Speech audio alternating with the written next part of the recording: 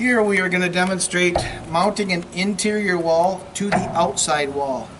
First of all, when you are mounting an interior wall, it's a great idea to put sealant, uh, some type of glue, either a subfloor adhesive or the SIP seal, between the lumber and the OSB on the inside, and you're going to screw that to the inside face of the OSB. Now, also on the outside, it's a good idea to put a panel screw all the way through to our interior wall. It just ties the two, together.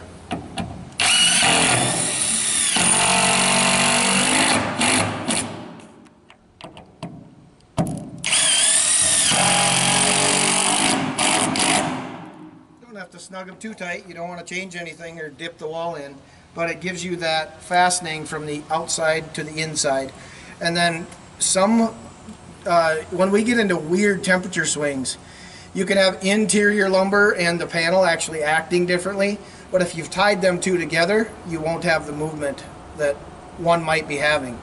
A lot of times interior lumber is drying out because of the of the build process and you'll get some pulling away from a wall. But if you tie the two together with the glue on the inside, the screws on the inside, and then also pulling from outside in to the interior lumber, that's that's what you need to do.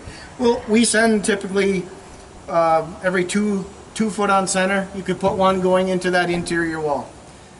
Thanks.